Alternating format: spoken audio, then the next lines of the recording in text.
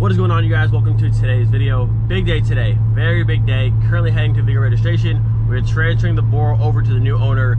That's it. The car is sold yesterday, uh, done. The Bora wagon chapter is officially coming to a close. It's sad, but we're moving on. What's exciting is once the Bora wagon's out of our name, I got an open spot. We can finally get plates for the Jetta VR6 wagon. I have all the paperwork with me, ready to go. I've been waiting so long to drive that car and it's finally here. Ladies and gentlemen, boys and girls, we have finally done it. Bora wagon sold, transferred out of our name, and we finally have temp plates for the Jetta wagon. We finally drive the car. It's been over a month we had that car just waiting and waiting and waiting.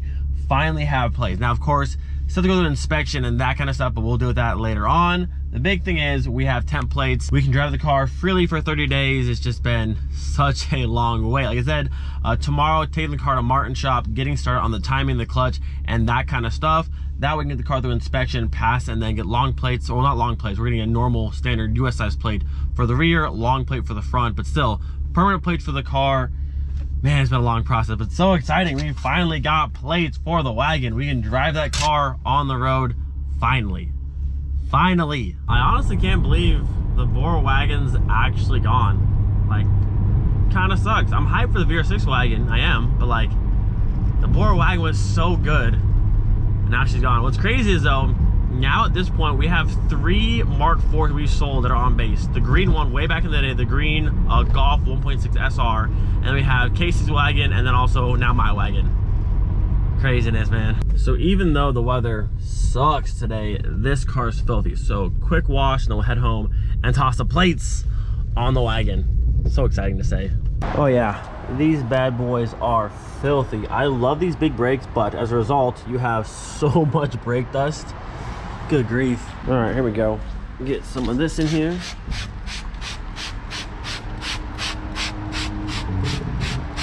Let that sit for a minute. We're gonna blast it off.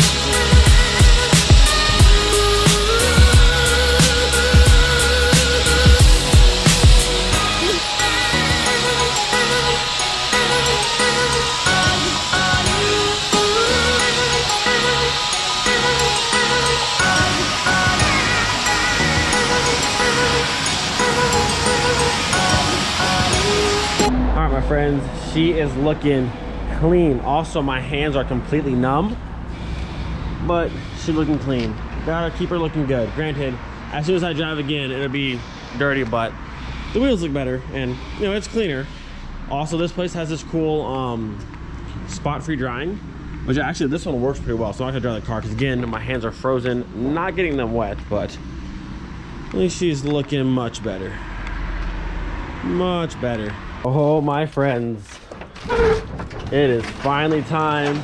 We are tossing some plates on the way. Let's go. Dang, boy, we official now. And also, the new templates have black lettering, so the black on black actually looks sick. All right, let's do the front, and then we we legal, boys. We ready to go.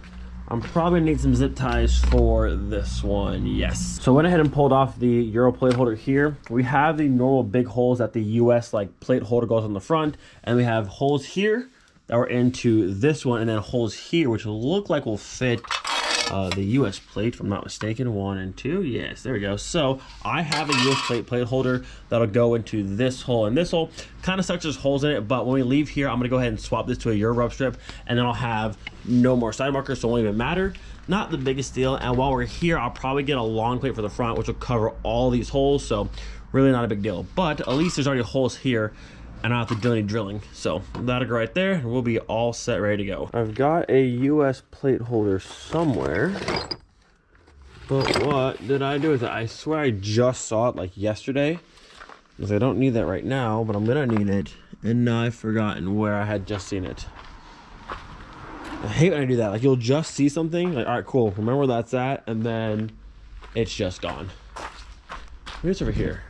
I don't know where it's at. I swear I had just I hate when this happens. Where did it go? Where did you go? It was like over here somewhere.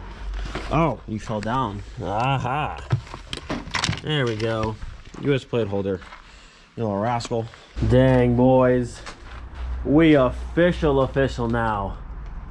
Oh, she looks so good. So the plan now, we're actually gonna go for our first actual drive in the VR6 wagon. Gotta go to base, get fuel for the drive tomorrow, and also get a package notification. So post office, fuel for the car, and just first drive in the wagon. Oh, I'm so excited. Oh yes, I have waited for this for quite a long time, my friends. Quite a long time. Yeah, we need fuel ASAP. Oh yes. She's an absolute beauty. All plated up, ready to hit the streets. Not too shabby.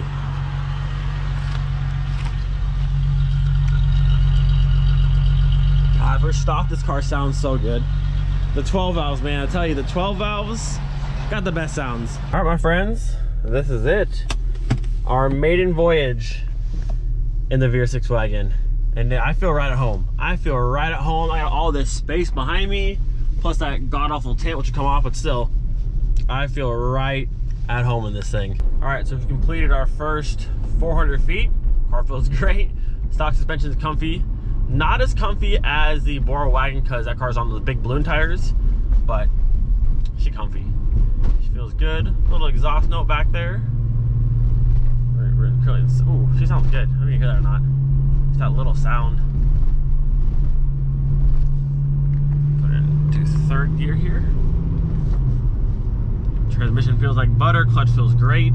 Putting a new one still, but while we're there, might as well just change it, but it feels good right now. Oh, this thing feels good. Now, we are doing the timing, so I'm not gonna like be on the car, but actually, like we're on the road now. Dude, this car feels so smooth, dude. There's not a vibration, there's not a rattle.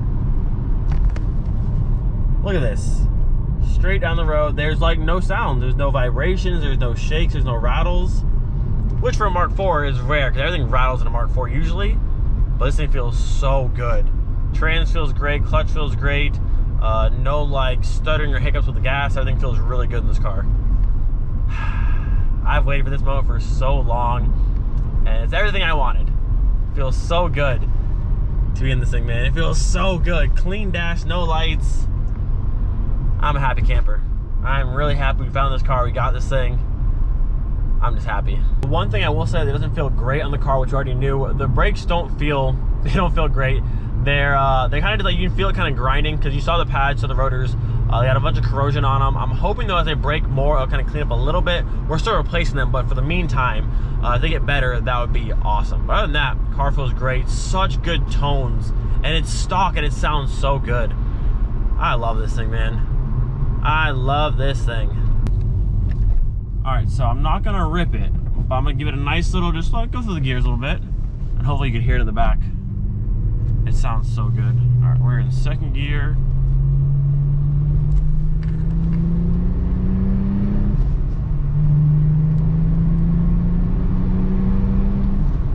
Only going to about 4,000 RPM. Oh, it sounds so good. And it pulls nice.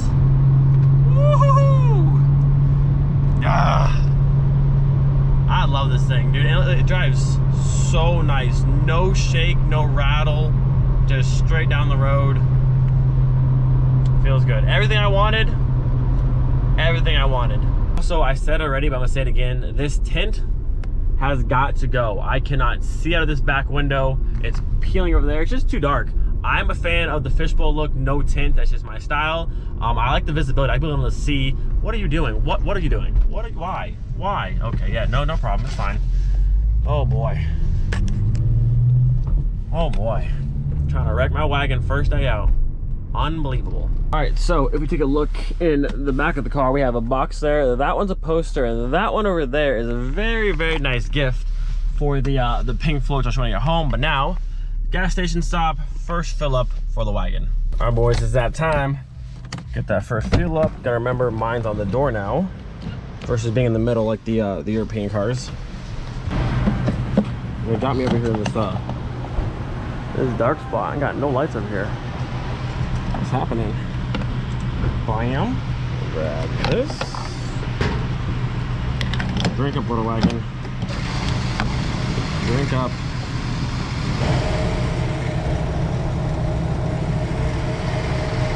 Not bad. All right, 43.66 liters later, she is full. We're ready to go. So, it is. We've got ourselves a nice full tank in the wagon. I'm curious to see the kind of fuel economy we'll get out of this car compared like the Bora 1.6. Out of that car, I think I got almost 700 kilometers out of one tank of fuel. So we'll see how the uh, VR6 compares. But we are currently at the good old hobby shop. Since I'm on base and I haven't been into this car really yet, I'm gonna sit down in the open bays, pull the car in and get up out of the car and just check around a little bit. All right, got us good old bay number two. First day of driving, the wagon's already going in the shop.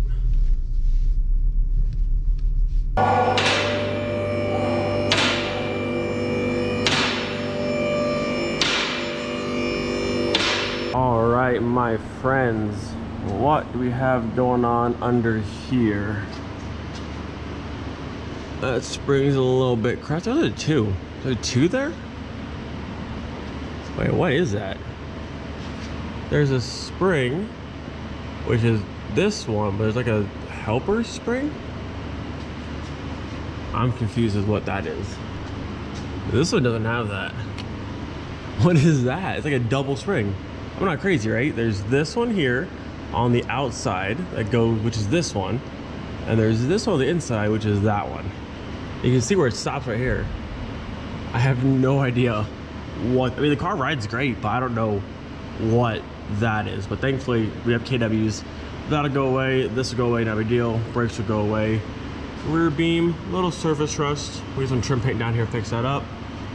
This looks good. Fuel filter, got into one of those. That's not a big deal. Lines look okay. Little brace in the middle. The standard little crusty surface rust stuff. Rails look to be in amazing shape, which is awesome. Love to see that. Sensors, oh, I don't know what this is. I'm assuming this was rattling and they just said, or the, the welds right here broke where it holds it on. And they just said, clamp, which I guess, I don't know if that'll pass inspection. I don't know about that. It might. I mean, it's secured and it's solid, but I don't know if that'll pass inspection. Standard rusty clamp stuff as usual. Subframe's looking a little crusty. I might go to the junkyard and pull out a complete new one and get me a more fresh one than this. It's not the worst thing ever, but got some corrosion on it. Uh, these will be new, not a big deal. All that'll be new, brakes will be new. Not concerned with any of that kind of stuff. Under here, a little bit of oil residue on the front side through here. But it seems to be coming from maybe the gasket through here. We'll have to go through some brake cleaner, and do some cleaning and see what actually is leaking. But we'll have this off very, very soon. So I'm gonna go through and see what's all going on. It could just be the rear main seal, which we're replacing anyway, so that's not really a big deal. So I didn't really plan on working on this car today, but I went through some brake cleaner and just kind of sprayed everything off. And now she's looking nice and clean. Honestly, there's a lot of like caked on like corrosion, like caked on like dirt, but it comes right off. You can see up there, I sprayed this section, but I didn't hit way up there yet where it's still kind of like black, but all of it comes right off. Like even like the mount here, like all this looks very, very new, which is surprising. So all the spot was dirty came right off, which is good. But still go through, rear main seal, timing, all, all the maintenance stuff. But it's looking like she was just dirty. And we've got ourselves a really nice VR6 here. Which is what I was hoping for, which is good. Still got a lot of cleaning to do on the block and stuff like up there. But I don't think it was leaking through here. It might have just been from like this leaking from like oil changes and the rear main seal possibly and getting kind of blown around down here. But like even looking like way over here in the corners, It's clean. I didn't really spray much over here, just like this section where it was kind of like the residue was. But she's looking good. I'm feeling good about this one. Axle boots are in good shape, which is nice. I said all the rest of the stuff like this, the ball joints, the brakes, is all stuff we're already replacing. I'll probably get a new subframe and just get this one out here because it's kind of crusty. And then this back here, I'm pretty sure I'll fail inspection for this. I'm pretty sure this like second spring inside here is to help like support this one, but I don't think I'll pass inspection with this setup, unless maybe I will. I don't know, I said the car rides fine right now. You would never know this was back here, but uh, we'll see what it does with inspection. If not, we'll put the KWs on and call it a day. But other than that, the car's not looking bad. She's got her normal wear, 120,000 miles, but all this kind of stuff is all gonna replace, so I'm not really worried about it. She runs good, drives good, so I think we're gonna go. Also, that radiator looks new. Look at that. See how shiny that is up there? Either super well taken care of or that's new, which it might be. All I said, this mount looks new because like this paint is also fresh. Once we pull this trans off, we'll see the condition of the clutch and that kind of stuff, but I think we're in pretty good shape here.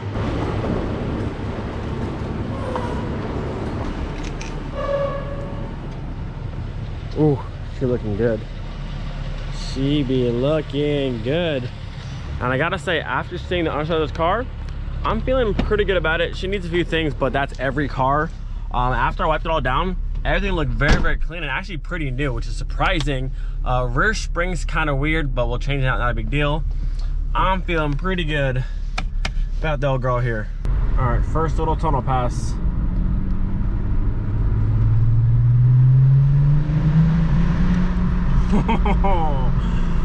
oh, she sounds good. And it's stock, dude, and it sounds incredible. All right, we're gonna do one more here. We'll do a little two, three on this one. This car sounds so good.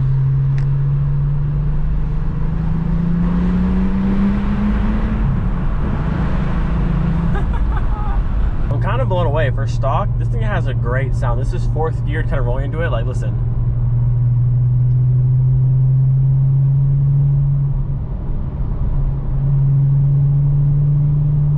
It's such a good sound. Hopefully you can hear that, but it sounds good. Honestly, kind of surprised at how smooth this car is. Like, there's no rattles or no weird shakes. There's like nothing. It's just smooth the whole way. I mean, that's how cars should be, but like, normally in an older car, you've got little vibrations here and there, things in the dash rattle, the door cards rattle, something, but this thing's just like, it's so solid, and I love it. The stock feel of it, and it sounds so good. It sounds so good. Again, hopefully you can hear that, but just that Wookie noise going on. Woo! I love it. And done. So, first run in the wagon done, and this thing, everything I could have wanted. It drove perfectly. Like, it literally didn't miss a beat. Uh, the clutch felt great. Every gear change was spot on. The car rode smooth. There's no rattles, no shakes. I mean, dude, this car feels perfect. Some things to change and sort out, not a big deal. Um, but overall, I mean, this thing is awesome. Everything I could have wanted, it is. I love it. All right, my friends, final bits of the night. Opening some boxes, plus Mountain Dew. Can't, whew, you can't go wrong, cheers, with Mountain Dew. It's just the best. Ah, it's just the best, aside from sweet tea. So let's do this one first because this one is exciting. So in this box, this is from, where's the name at? This is from, if I can find the name. Oh, this is from II Mayday. The guys over there. Thank you guys. I forgot all about this. So I thought this was a different poster, but this is, ooh, this is exciting. What do we got in here? Not sure what they even sent. I can't remember what it was. But I'm excited. Ooh, we got, oh, we have like five posters. One, two, four posters. Let's go. Six posters. Hooking me up. If you aren't already, follow Mark II Mayday. They got a lot of really nice shirts, which I don't have any down here, but nice clothing, super nice guys, a lot of beautiful Mark IIs. And we got one, two, three, five posters here. I just actually cleaned up the table, you can see. I put my whole stack over to here and tried to clean up the table a little bit, but now we're about to have a whole new stack of posters. So we'll do this little one first. This is awesome. I love posters. No frames, but a lot of posters. All right, first one. What's it gonna be? What is it gonna be? This is all from their show, I believe. Oh, look at that. Beautiful. So the plate on there is the date of the show. Look at that. In Lebanon, New Jersey. Very, very nice rally. Uh, golf 2. Love that. All right, so that is poster number one. Now we got a big stack. Good grief. What's happening here? There we go. All right, we got four posters to go through. Woo, look at the first one. That is sick. Mark II on the bottom, Jamie Orr's Mark 8, the BBS is out on top. I saw both of these cars in Helen. Oh, that's sick. So actually, we have the Mark 8 poster now. Look at that. We've got the Mark 8 poster right here. Dang, that's sick.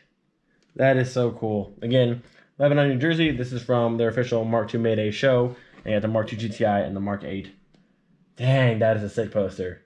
I like that a lot. All right, what do we have for poster number two? This one, I believe, is the same. Same one there. And then poster number three. Oh, same. And same? Okay, so nice. So I got four of this poster now. So if you got any cool ones that I don't have, I now have three to possibly trade for something cool. I said I need the Mark 1 still, and I need the Mark 6 as well. And there's a couple other ones I don't have. There's an Arteon one. I believe there's another Golf 3 one somewhere. There's a handful I don't have. There's a red Corrado as well. So there's a few that I don't have. If you guys have cool posters, uh, like the Volkswagen show ones you want to trade, I got three to uh, to bargain with. So let me know. But again, big thank you to guys at Mark II Mayday. Uh, this poster is so, so cool. Plus, they got me the show poster from their show, which again, so, so cool. So again, thank you to them. Uh, big shout out. Make sure you guys follow them. Tons of beautiful cars. So now, with our poster check out of the way, we do like poster checks like every week. It's awesome. We've got a box here. And this box, my friends, this is from Matt over at Eurocraft. If you know what he does, he does wiring. This right here is the wiring harness for the Pink Floyd for the 1.8T. We're making moves. We are getting there slowly but surely. We're getting there. All right, my friends, here we go.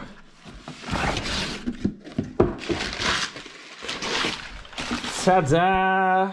We have a harness to go from the Mark III fuse box to the Mark IV 1.8T, all done by the homie Matt or Eurocraft.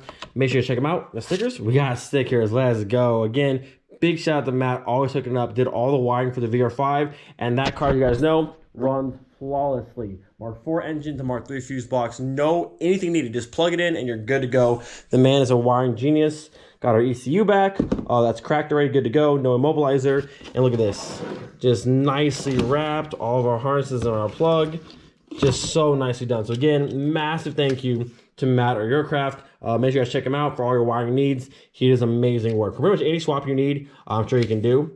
Got a black sticker and we got the white sticker. So again, thank you, Matt. This is awesome. One step closer putting the 1.8T into the Pink Floyd. Yo, no lie, Big day today. Very big day today. Shout out to the new owner. Bora wagon is gone. We got plates in the VR6 wagon. The car drives so good. We have a harness for the Pink Floyd and some new posters. Not a bad day. Hope you guys enjoyed today's video. Do not forget be thankful for every single day. We'll see you guys next time. Peace.